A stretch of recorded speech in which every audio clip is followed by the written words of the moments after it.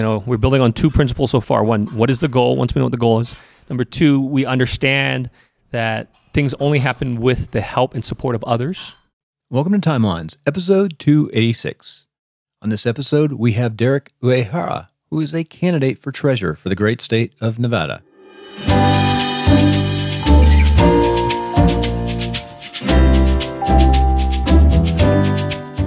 Hmm.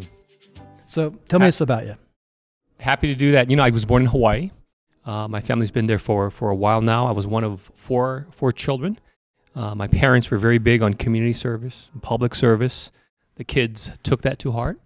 I myself am a former U.S. Army reservist, but my sister is the highest ranking military person. She is a lieutenant colonel, uh, and she's done two tours in the Middle East. We're so proud of her and thankful for um, all the veterans who have defended our country and allowed us to live these great lives that, that we do in America. We want to thank your sister too. The reserves and the guard have really paid their dues since 9/11. Yeah, multiple trips over. you Yeah, know. two is a lot. That's a lot. What does she do? Uh, she's a lo- logistics specialist. a lot. Go great. so you know, whenever they want to do something, she's drawn in there to figure out how do we actually make it happen uh, in moving the personnel and the equipment. So you went to high school in Hawaii. Mhm. Where, where in Hawaii? What's the high school? Uh, it's Castle High School in, in Kaneohe. Okay, very good. Are you And then- familiar with the islands? a little bit. I spent some time there as a kid. Oh, okay. Um, I won't go into a lot of detail, but I spent more time than you can imagine. in Legal or illegal? No, legal. Legal. I was legal. In Hawaii. Just want to clarify that. Okay. Yeah, just uh, more time. We had a condo in Hilo, and my cousins had a forty footer in the yacht club. So Okay. I got to go. over Well, you know, it rained a lot in Hilo, right? Yeah. Oh, yeah. They just had the floods. Mm-mm. They're having floods. Yeah. Real bad. So out of high school, you went in the reserves. Congratulations. I, mean, I think it's a great thing to do as a kid. So when you went in the reserves, did you take advantage of the educational benefits from the military? You know, I did. They had a program that that uh, the state would pay for your tuition, so so I took advantage of that, um, and you know I ended up transferring to University of Washington. I'd gone there one summer, and um, you know, a young person. I think I think you're open to adventure, looking to do Mhm. different things, looking to discover yourself. I actually got there during the summer, and it was the weather was gorgeous Hmm. And you know it's green uh, there's water the sky is blue uh, it's a beautiful place and i decided i wanted to to go to school there not knowing that it's not that way the entire year No, it's very gloomy. it's and very gloomy and raining. and you know what it's like um, spending time in hilo so Yeah. uh, very similar to hilo except it's colder yeah, much colder. Like much, much colder. yeah So you went to uh, college in Hawaii for two years. Where'd you go there? at the university of hawaii And you, oh, okay. And you left and to come to mainland. That's a big decision, though. Um, I, I guess you c- you could look at it that way. I guess you're a young person, though. You know, you Yeah. you're looking for uh, adventure. You want to discover yourself. Uh, you want you know, I wanted new experiences, so uh, I took advantage of that. So finding out more about you, you got married. You have kids, family. We have uh, we have a 17 year old. He's a junior in high school very good in Las Vegas, in Henderson. in Henderson. Oh, you're in Henderson. Yeah. Um, when did you come to Las Vegas or Henderson area? Uh, came in 2000, so Okay. I've been in Nevada now for 18 years. That's a long time. That's long. Uh, Well, Nevada, it- it's all really relative. grown. It's all relative. I mean, it's gone by very quickly. Uh, but when I when I think about it, when you ask me about it, I go, you know what? You, you know, it is a long time. So between Washington and coming to Nevada, what was your track? Um, from Washington, I went to California for graduate school. You know, I earned an, a mass, uh, an MBA, Where? uh, Claremont Graduate Claremont. School, now Claremont Graduate University. Uh, I studied with Peter Drucker, and um, you know, it was very attractive to me because Peter Drucker spoke about how management principles applied not just to business, but to government, to the not-for-profit sector. And ironically, here you know, here I am, you know, running for public office where a lot of the principles that uh, have worked for business, I think, are are directly applicable to government and the not-for-profit sector. Very good. Very good. I mean, I'm, we'll talk more about your campaign towards the end, but Mhm. I'm, I'm happy you're running. It definitely is a commitment, and it takes you away from your family and business to some extent. You have to have a family who really backs you up. I do, and I'm very fortunate. My wife is very supportive. She's here right now. We'll take a picture and make sure you can take up. a picture of her. Thanks for being here.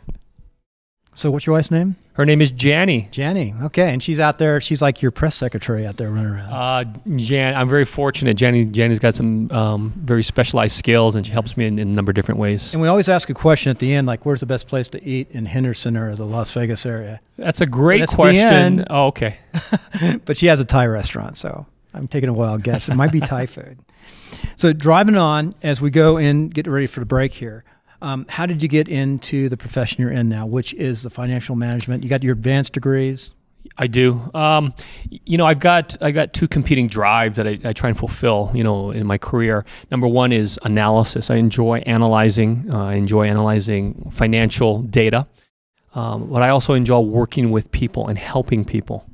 So, you know, I'm very fortunate to, to have come across a profession of financial planning, where we do just that. We analyze data, uh, we interact with people. Uh, our, our, ultimate goal is to serve people and help them prepare for all the goals in their lives. Yeah, I was going to say we just finished our taxes, and I hate taxes. Oh, I mean, I, I, just hate doing. I mean, I, I, believe in paying taxes so we can defend the country. Absolutely, not a lot of taxes, but Absolutely. I do believe in fair, sure. fair share.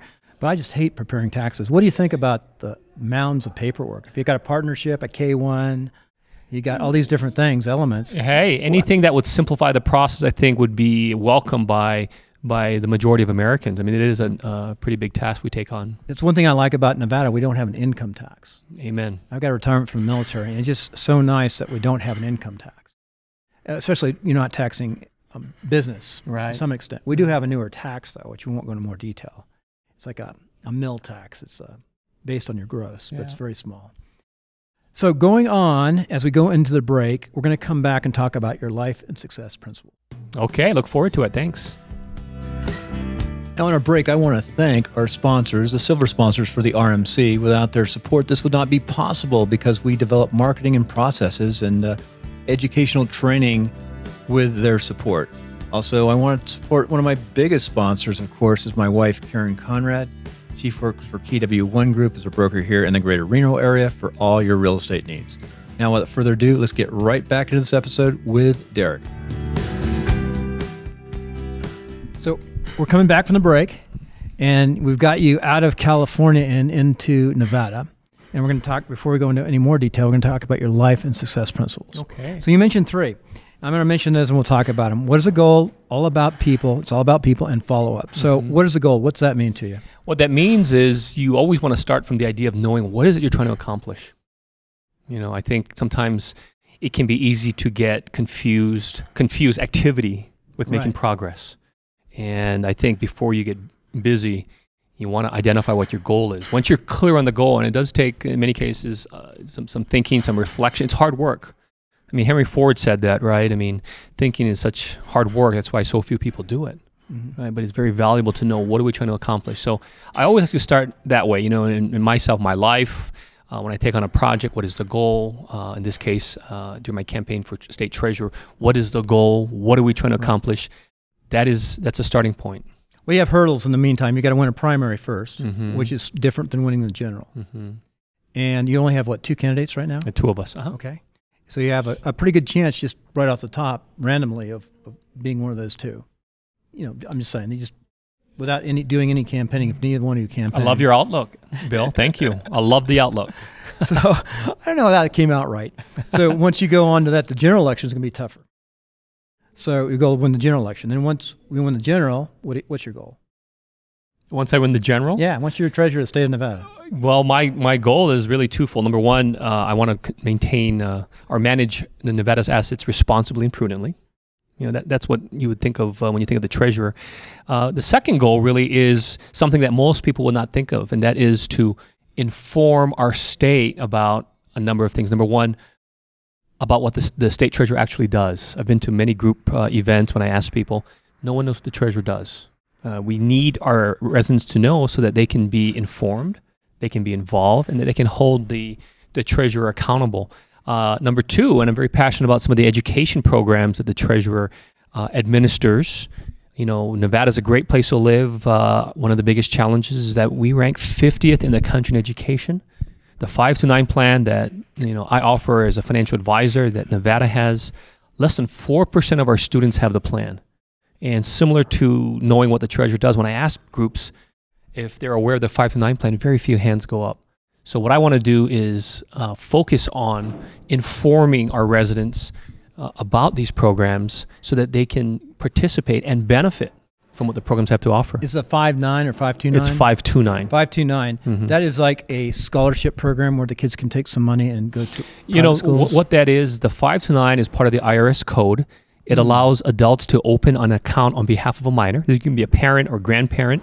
Um, you would invest in the stock market. When the child hits 18, you take the funds out tax free, and you can use it for a two-year college. You can use it for a four-year college. Um, in the last several years, we, you know, I think uh, most people recognize that college is not for everyone. You can also use this for technical training schools, for vocational training schools, and with the recent tax bill that the president and Congress approved, you can even use it for K through 12. So, um, a lot of our folks who want choice, the five two nine offers you that choice. Very it's a wonderful program. Again, less than 4% of our students have it here in Nevada. I want to change that, and we're going to start by informing our residents that about the existence low. of this program. I imagine some states are higher. It's just Sure. lack of knowledge. Very good. So the second point, it's all about the people. hmm You know, we you know we, we live in a world where everything you want to do or accomplish happens only with the support and the cooperation of others. That's just a guiding principle. So, um, when I'm working on a project, I want to know the people involved. I, I want to know what's important to them. I want to know how we can help them accomplish and achieve what they want. So, you know, we're building on two principles so far. One, what is the goal? Once we know what the goal is. Number two, we understand that things only happen with the help and support of others. And that's why it's all about the people. Very good. And then finally, follow up. Follow up is crucial. You know, I think it's easy to talk, to say things, right? But what takes a little more effort is actually doing what you say you're going to do, right? So we'll bump right back up to principle number two. It's all about the people. When you work with people, you make commitments. I'm going to do this. It can be as simple as saying, I'm going to call you later today. Well, now we go back to principle number three. Well, you better make sure you do that. You need to follow up and call them if you told them you're going to do that, right? I'll get that information to you. You make sure you do that. And if you can do that, now you start building a relationship where trust is built Mm-hmm. and you can focus on actually accomplishing the goals that we set out in principle number one. What is the goal? So know what the goal is, understand that people are a vital part of that, and know that the, the oil that makes human relationships go is following up, doing what you're saying you're going to do. Very good. Now, I think if people listen to this podcast and the netcast, they understand why you're running. You're passionate, but we're going to talk a little bit more about your campaign. When did mm-hmm. you decide to run? You know, this happened this summer. I was approached by someone who who mentioned that because of my finance background, you know, I might be a good candidate for state treasurer. They asked if I'd ever thought about it. I said no. They said go look into it. So, uh, you know, I mentioned earlier I'm a very analytical person. I like reviewing data. I went up, uh, rev- looked at the position of treasurer, and to see what was actually involved, I got excited. Um, I got excited because the job is a very focused job. There are only three responsibilities. Number one, you, you handle cash management and the management of a couple of investment accounts. You know, I'm a financial advisor. I'm registered with the Securities and Exchange Commission. This is what I do. And certainly, I thought, you know, as Nevada's treasurer, I will manage the assets responsibly and prudently. Second responsibility is dealing with unclaimed property. So if someone passes on and have they have not identified a, a beneficiary or that beneficiary can't be located, that property ultimately reverts to the state. Nevada currently has just under $800 million in unclaimed property. You know, this is cash and assets that belong to the people. As Nevada's treasurer, I will get their cash and assets back to them as quickly as possible. I understand urgency. And then number three is managing the education accounts. And we, we just touched on it a little bit. The treasurer administers the five two nine plan, the education savings account, as well as a prepaid tuition plan. And I'm, I've always been about education. I got excited when I saw that this was part of the treasurer's responsibilities. And uh, I'll repeat, you know, as treasurer, I will work to get our state aware of all these programs so that our students can benefit and we can invest in the future. So let's look at your website a second. So it's Uh-huh. derekfornevada.com. Yes. And if you go to that website or even just Google your name, you'll come up. And that's a, I always like to look at the websites, the background. So you got about, news, volunteer. So how is the campaign doing? I got a little video in there too. That's Very little. video. That's actually me giving a little presentation, introducing myself to the public, letting people know, you know, what the campaign is about. Uh, you scroll down right there. You got my. I'm very proud of that endorsement. You know, I live in Henderson, uh, second largest city in Nevada, one of the top five safest cities in the entire United States. I saw that. I just read an see that? article on that. yeah. Well, I'm so honored. Mayor Pro Tem of uh, Henderson, Dan Stewart, has endorsed me, so I appreciate that. Um, is that the congressional district three down there too? It is. It It leans. I mean, we might even have a Republican in that seat this year. That's right. So you know, sidetrack. in terms of how the campaign has gone, I think, you know, this is my 19th trip up to Reno since Mm-hmm. August. Um, so I've been up here to, to get the word out. Uh, but back home, you know, I have the endorsement of our, our mayor Very pro good. tem. I'm honored to have the endorsement of uh, the Vegas Voice. Vegas Voice is the largest senior publication in Nevada. They've endorsed me. Um, I'm honored to have the endorsement of Tim Brooks. Tim Brooks is the owner of the Emerald Island Casino, um, recent chairman of the Henderson Chamber of Commerce. So that's kind of down south. The momentum has really picked up lately. I was just up here in Reno last week.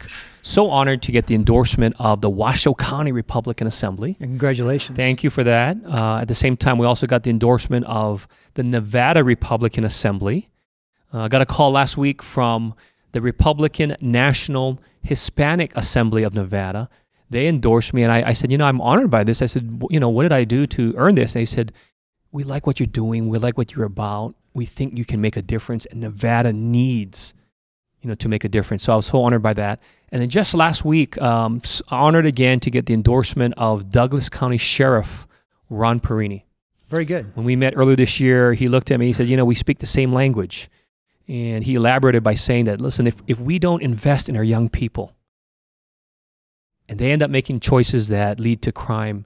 Now it becomes his problem, right, in law enforcement and the rest of our law enforcement personnel here in the state of Nevada. So the choice is, is, is pretty straightforward. We either invest in them or we as society are going to end up dealing with the consequences. And that's why there's so much at stake for this campaign. Yeah, I know some people have have wondered. They say, "Listen, this is great. You're investing in the kids, but what about the rest of us? You know, what if we don't have kids? What if our kids are grown up? What about us? What do you do for us?" I said, "Listen, I, I get that initial thought, but here's how it's all connected, right? If our young people don't have productive economic futures, what are they going to do? Number one, and number two, where where do they go? And the answer is." they're still here. They're still here amongst us in our great state, and they may be tempted to make some choices that that are not in their best interests and ultimately not in our interest. Crime, drugs, human trafficking becoming a bigger and bigger issue. We need to proactively give them an option. We need to give them a future so that they can be productive members of our society. We need to invest in Nevada's future because the consequences potentially will impact all of us here in the state. Everyone wants their kids coming back to back to the state after school, and a lot of kids do come back to Nevada. They love it here, especially northern Nevada and Reno and Reno area. Mm-hmm. A lot of people love the mountains and mm-hmm. skiing. Well, great. well, great you understand, place. right? We, and Henderson's got a great name too. Henderson, by the way, Henderson and Las Vegas, two different th- beasts, aren't they? They're two separate cities. You know, Las Vegas, of course, the largest city in the state. Henderson, second largest city. So I want to thank you very much. How can the listener get a hold of you? you know what? Go to my website, derekfornevada.com, D E R E K F O R N E V A D A.com. You can go online and make a contribution. Um, you can also send us an email. You can also visit us on Facebook. Same thing, Derek for Nevada. And we always have that one last question, but I think you know what it is. Where's the best place to go to eat? Oh, that's an easy one. You saved the easiest one for last. The best place to go in Nevada is Satay Thai Bistro. It's on 3900 Paradise. It's been named the best Asian restaurant in Las Vegas incredible food, been around 13 years. They're doing a lot of things right, and that's why people keep coming back to it. Satay Thai Bistro, 3900 Paradise. Well, I will eat there next time I'm there. I always eat wherever when they recommend. You gotta I love eat. it. I you gotta You got a mouth bill. You got to eat. We welcome you to Satay. Okay. Sounds good. Thank you. Thank you. And thanks for uh, hanging out there. We did this last minute. Normally I don't do this, but we did this like on the cuff. So you're happy to do it. So Thank you it for done. having me. Thanks for having me, Bill. Thanks.